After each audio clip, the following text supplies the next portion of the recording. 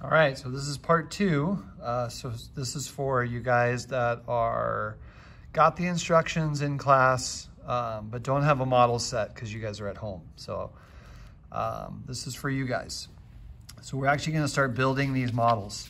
So what you're gonna need is you're gonna need your molecular model lab. Um, and I already did that first example here. And then you're gonna need our reference sheet.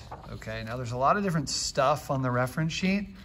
You really just want to be concerned with this part right here. And I'll show you, I'll sort of zoom in on this, but this is the part you want to focus on. Okay, so it's this, it's this part right here. It's the uh, angles, the molecular geometry, um, the examples, and then the pictures right here. So just focus on this part because that'll help you figure out what the shapes are. Okay, this other stuff, we'll talk about that later on.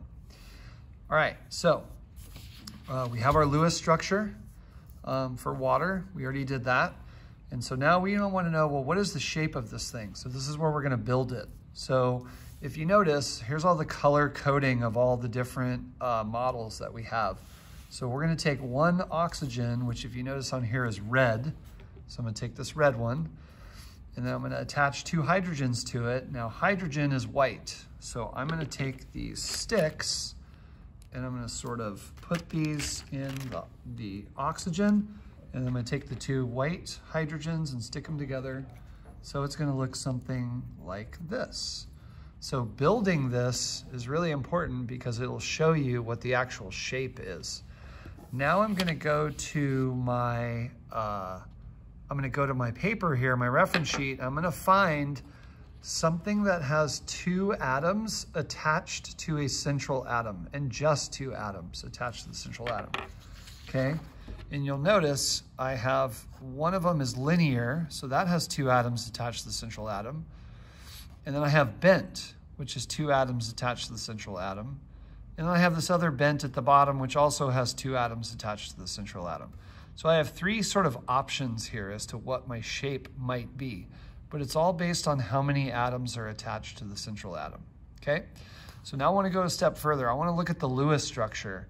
Well, my Lewis structure has two lone pairs on the central atom. So that's what I also wanna look at. Two atoms attached to the central atom and also two lone pairs on the central atom.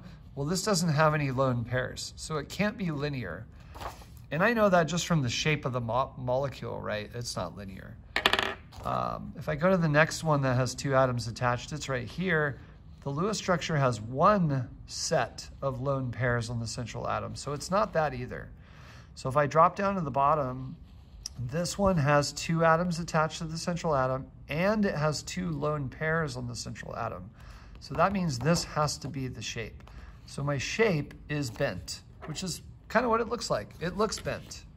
Okay, so what I'm gonna do is I'm going to write the word bent for my shape, and then I'm gonna actually just draw a rough sketch of what this actually looks like. Okay, so it looks something like that. And then you don't have to do this, but I have colored pencils, so I'm gonna color this one in red just to give it a little more clarity like, okay, that's what that bent molecule looks like. All right, now bond angle, once you establish what the shape is, then you can go back to your reference sheet and you can go over to the bond angle and whatever is linked up with that shape, that's the bond angle. For this, so for this case, 109.5 is my bond angle, okay? Um, molecular polarity, we're actually gonna skip this for right now. So don't worry about that last column. You can do that later on. Okay, so now what I'm gonna do is I'm gonna go through and just show you the different shapes and then uh, your job is to look at those shapes and just figure out like what is the correct name for that shape after looking at it. All right, so I'm gonna show you a couple of these. So the next one is phosphorus, which is gray. And I have three hydrogens attached to the phosphorus. So it's gonna look something like this. And then I'm gonna have three hydrogens attached to the central atom. So it's gonna look something like this. So this is my uh, PH3, PH3, looks like this. So again, your job is to just sketch this, so you can probably pause the video as I hold it up. Um, you can sketch this, and then you can write what shape you think this is, okay? And you can base it off of how many atoms are attached to the central atom, and then if there's any lone pairs, all right? So then take your sheet and just try and figure out what shape this matches up with, okay? And then write the bond angle. So that's PH3. So I'm just gonna go through some more of these. So nitrogen, all right, now what you should do is you should already have the Lewis structure drawn first. So don't go backwards. Draw the Lewis structure first, then start looking at all the shapes of these things. Okay, so it turns out that nitrogen is going to have a triple bond. So you use springs for the triple bond. So there's two of the three, and then there's the third one. So nitrogen looks like this. It's a triple bonded uh, two nitrogen atoms. Now, this is not on your sheet uh, because there's only two elements stuck together. But you can think of it as like, well, if I make two points and I, and I connect them together, that's always gonna form a line. So anytime you have two atoms stuck together, it will always be linear, okay? That one's always linear. So the bond angle is always 180. All right, so we did water, we did PH 3. I'll just set them over here and we did nitrogen. Okay, that's the first three. Now what we're gonna do is I'm gonna show you a couple more and then, uh, and then that'll be it for today. So the next one is CH2. So C is carbon. I'm gonna attach two hydrogens to the carbon. And the way that they write this sort of tries to help you figure out how they're connected together. So those two hydrogens, they're trying to show you by writing it like this, that the two hydrogens are actually connected to the carbon. And then we have an oxygen, which is red, which is connected to the carbon. Um, and it's actually, it's double bonded. So my springs. So I'm gonna use the springs for a double bond. I'm gonna put one here and one there. And then I'm gonna connect this to this guy. So it looks something like this. I have a carbon, I have two hydrogens, and I have a red oxygen connected to it. So it looks something like that, okay? There's the three-dimensional shape. That's CH2O. All right, NH4 is next, starting with nitrogen. Four hydrogens attached to it. One, two, three, and four. And then I have some hydrogens. One,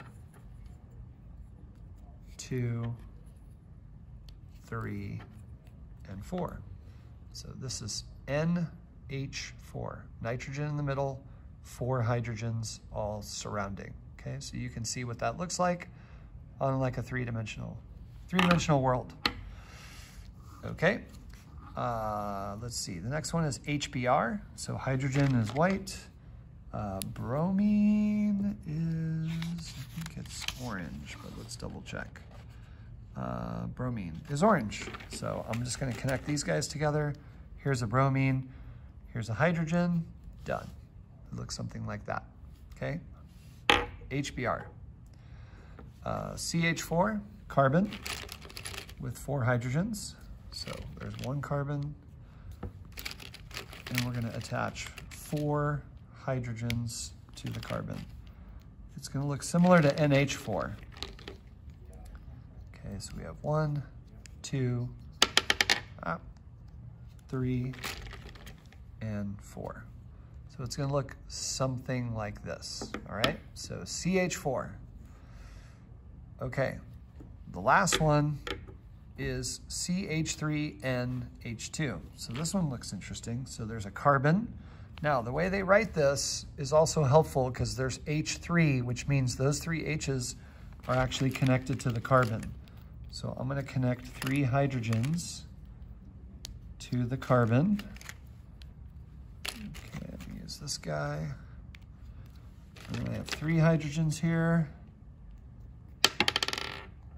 One, two, and three. So there's my CH3. And now I have a nitrogen connected to it. So I'm gonna connect this, and then the nitrogen is blue. And then I have two hydrogens connected to that nitrogen. Okay, so again, the way they write it sort of gives you a hint as to how these are all connected together. So it's gonna look something like this. All right, so I've got, uh, let me spin it around. So I've got a carbon, three hydrogens attached to the carbon, and then I have a nitrogen also attached to the carbon, and then I have two hydrogens attached to that nitrogen. Okay, so when you look at it, this looks weird because uh, it actually has two different shapes. So one of the shapes, if I cover this up or I just take it off, one of the shapes looks like this. So that's one of the two shapes. The other shape looks like this. Okay, so you gotta figure out what are these two shapes and they're just connected together. But this one's a larger molecule, so it actually has two different shapes. So you just write both shapes. All right, so that's, that's about all we're gonna probably get through today. So as long as you can get through that, and then your homework is just gonna be to go through and write all the Lewis structures for all the ones that we didn't do. That way when we come back, um, we can quickly go from the Lewis structure and just build the rest of these. All right, I hope that helps.